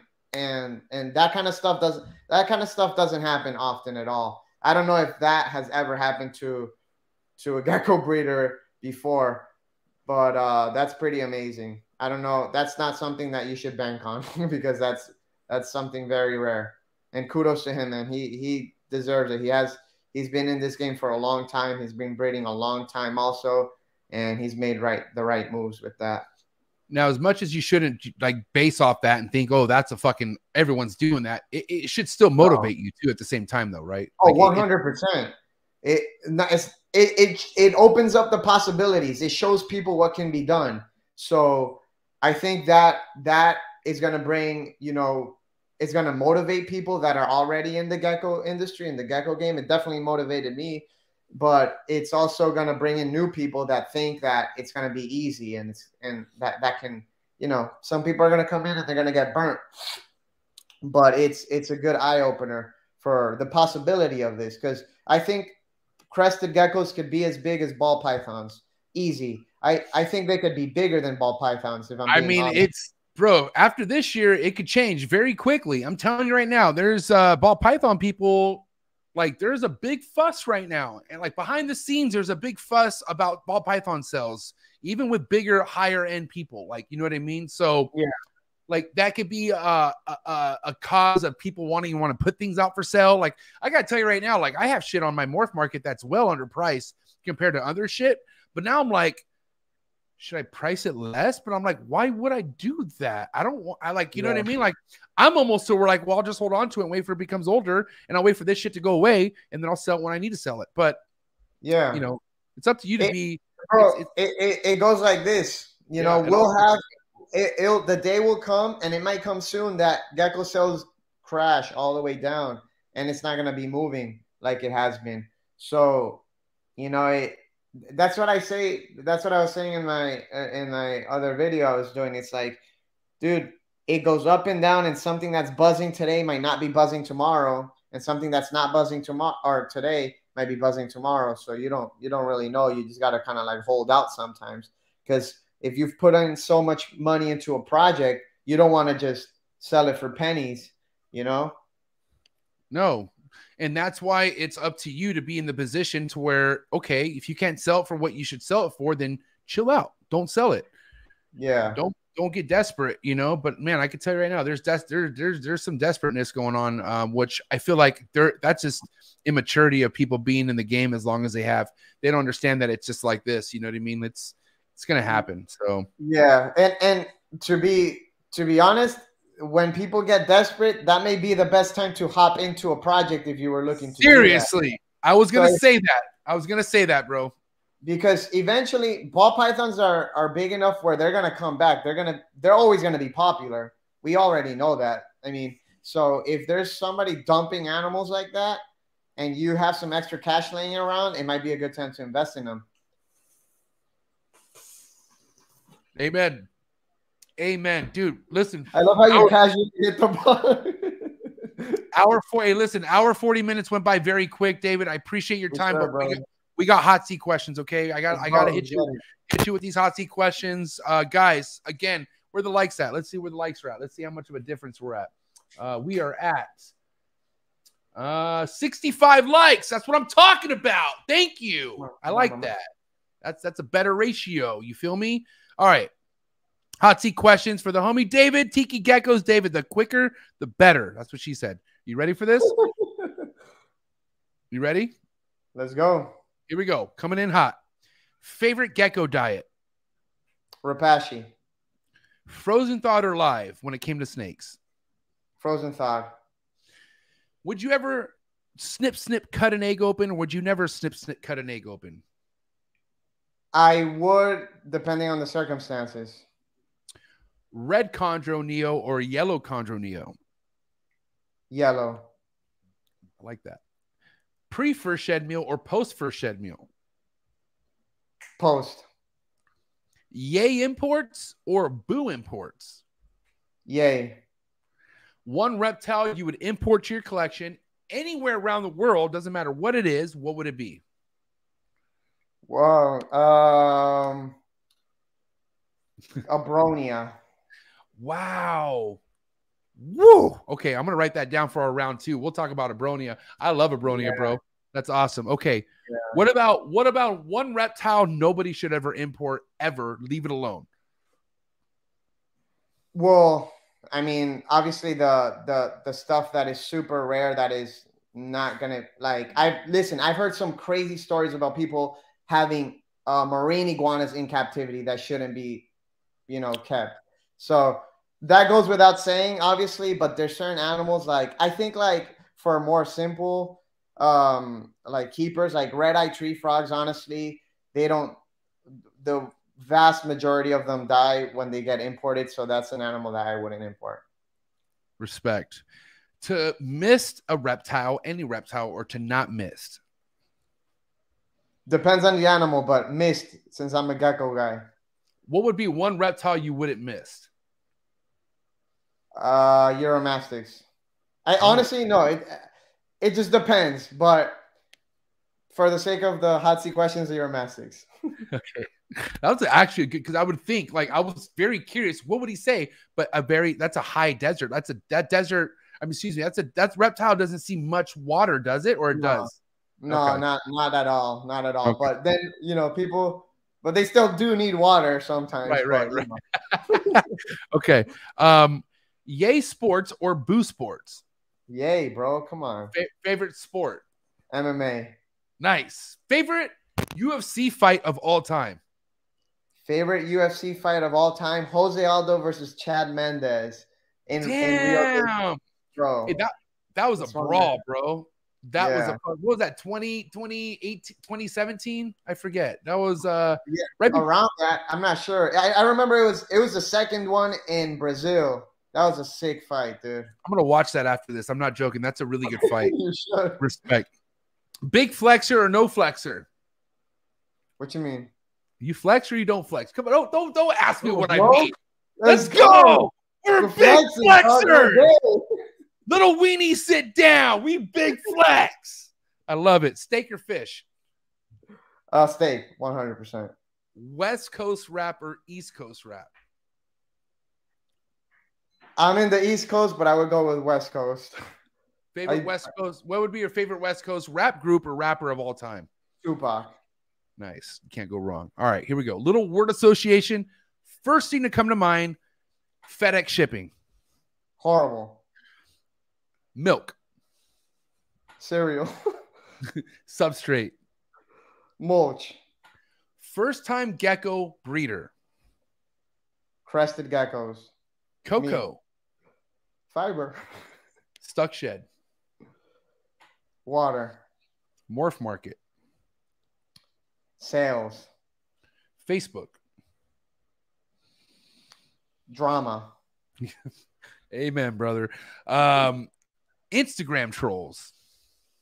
Losers. Losers. Okay, if you had to delete one plat social media platform off the face of the earth forever, is it going to be TikTok or Twitter? TikTok, just because I, I actually like TikTok better, but I just think it's not good for humanity, dude. God bless. but making our attention span way too short. do you see how China runs their TikTok for like their kids? How it's like Bro. it's that's next level, bro. We need I that. was like what they show, what they program for us to see versus what they program them to see. It's kind of scary. I don't. I don't think that should be. Uh, I would just snap my dude, fingers. it's on purpose, bro. out of it. Literally, they China. Okay, understand China has. I guess there's some sort of control that China has over the over the social media platforms being put out. I could be wrong, but either way, they're looking at us deteriorating each other. Like they're looking at us. They're seeing what social media is doing to us, and they're like laughing, and they're Yeah. fucking doing that like educational shit, dude. I don't know if I ever have a kid in the next. I don't know. They're, they're on that China social media shit, bro. That's all I gotta Keep say. them off of social media for as long as you possibly can. Yeah, no, they're gonna be playing in the dirt. I'll homeschool them. They'll play in the dirt and fucking play with you know what I mean. That's it. The snakes. Hey, listen, dude, we had just over 90 people tapped in for this fucking episode. Thank you so much. Sunday, that's big. The gecko breeder sessions are blowing up. You just helped this episode blow up. Thank you so much, David. But what do you have? What do you have to say to all your supporters out there, man? Everyone fucking with you, all your new customers from Black Friday. What do you have to say to all your supporters out there, bro? Hey, thank you guys so much for the support over all these years. I say this all the time, but we really wouldn't be able to do what we love if it wasn't for you guys. So I appreciate every single one of you guys. And MJ, man, thanks for hosting this thing and, and bringing the community together, bro. I appreciate that. No, listen, thank you for being a force to be reckoned with. Understand that I'm just, I don't want to say that I had to bring you on, but it's only right because I have a Gecko series now. But I've been knowing who you were before this series, man. And I got to say, that's all because of what you do, man. Your fucking promos that you're doing, all your posts, the energy, that shit's not easy to do day after day. And I got to say, man, to see someone matching the shit that I'm doing, kudos to you, my player. Thank you, bro. Anytime you want to have me on, man, just give me a ring. I want Manny next time. Not to sound that sounds weird, but I just saying I, I sure, do. we'll get him on. We'll get him on. Listen, bro, I do remote podcasts once a month. Who knows what 2023 will bring, but maybe I could fly to you guys next time and we do an episode in person and we all get this shit together, bro. For sure, bro. If you're in Florida, if you're in South Florida, hit me up. All right, brother. Listen, go give him a follow. Tiki's Geckos and go subscribe to his YouTube channel. I, I smell 100K coming your way. I'm not even joking. Big things coming from the homies at Tiki Geckos. But that's a wrap. Ladies and gentlemen, give it up for Dave at Tiki's Geckos. Thank you, bro. All right, bro. Thank you so much. Hey, have a good night. Thank you so much, bro. You too, MJ. See you, Peace. Whew, what a good fucking guy. What a good time. Man, energy feels right. Guys, thank you so much. Do me a favor dude, the, I, I can't complain. The likes are fucking up there. The like over 70 likes. Thank you so much. I salute you. Uh, drop a comment. Um, I gotta let you know this was a really awesome gecko episode. Not that you don't know that, but guys, drop a comment. Let me know what you liked best about this episode. Um, remember to okay, guys. One thing I didn't mention in the beginning of the episode: head over to my website, okay? Because I'm getting a lot of inquiries, and I'm excited for these inquiries. But goddamn, they're kind of getting stressful. They're starting to build up. But guys, head over to my website because I have one thing that is live, one thing that is ready to go. Um, my my trap shirts, man, trap merch. If you want to get a Trap Talk podcast t-shirts, the new logo, it's available to anyone out there. Okay, go to my website, trappodcast.com, click on shop, and then head down and click on that shirt right there. And here you could actually make a purchase for the new Trap Talk 2.0 t-shirts on my website. I want to make sure you guys are now knowing how to get one of these shirts because I get hit up all the time. Patreon members, you guys already know, hit me up directly and I got you. But anyone out there who watches my show, anyone out there who's trying to cop a Trap Talk 2.0 t shirt, that's it. The logo. This is like the bat signal for the reptile podcast world. That's right. Coolest reptile podcast in the world. And that's a fact. But guys, also on the website, just so you guys know, you guys could actually stay on top of all my other you know my youtube channels you know i have my my vlogging channel which by the way if you did not check out that vlog i just dropped recently on my channel go to the trap vlogs on youtube. Go subscribe to my youtube channel where i put out vlogs but i just had an awesome facility tour with joel from state 48 exotics. What a guy. Thank you so much for your guys love and support. Uh, patreon members what is good? Are you ready for this trap talk after party? Yeah, that's right. Guys, if you're looking for extra content, if you're looking to tap in more than what you are currently tapped in with in this reptile industry, man, looking, dude, if you're just looking for some fucking outreach, go down to the link below, click on the very first link, Trap Talk Patreon family, become a part of the Patreon family. As soon as you become a part of the Patreon family, you get a link to the Discord. Over 150 motherfucking trappers in the building. It goes off but it also shows you the link to the Zoom call. That's going to be the AKA Trap Talk Patreon after party. Guys, thank you so much for all your love and support. Have a great Sunday. Patreon members, I'll see you in a bit. Oh, I forgot to mention. I'm not done. I forgot to mention. I forgot to mention. I forgot to mention what is happening this week. Can I please just let you guys know what's happening this week? Thank you. Tomorrow, I gotta say, I have someone who is coming to the new Breed on the Block series, six o'clock Pacific Standard Time, who is very highly recommended. Someone who is like literally, there's people blowing up about how excited they are of having this guy come to the platform. So I got, I have to mention that tomorrow night, new Breed on the Block series, I have my man Villarino Reptiles, Emilio, coming to the damn Trap Talk Roundtable. It's going to be amazing, man. This guy right here is killing it in the shows, doing big things, making connection all over the country, all, all over the country. Well, all over the hobby is what I wanted to say, but that's going to be going down. And then all my ball python, take that back. My green tree python lovers out there, if you're in the green tree python uh, trap side of things. If you uh, are interested in green tree pythons, if you want to know more about green tree pythons, if you want to know like who are the ones who are the most consistently successful at breeding green tree pythons, then Thursday night is something you're going to want to consider tapping in. I mean, you should, especially on my damn trappers out there. But goddamn, I have a legend coming to the goddamn trap round table Thursday, six o'clock Pacific Standard Time. Buddy Bushimi. Busimi. Busimi. Did I say that right? I'll find out. Either way, six o'clock Pacific Standard Time. That's all I have to say. Trappers, I'll see you in a bit. Trap Talk Patreon after party going down. Shit's going to be lit. Have a good night. I'll see you tomorrow. Cheers.